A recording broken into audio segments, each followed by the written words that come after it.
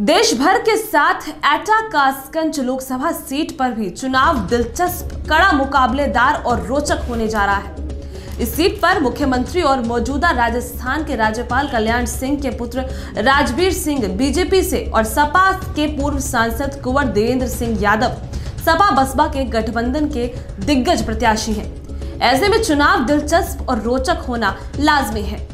इस सीट पर सभी की निकाहें टिकी हुई हैं।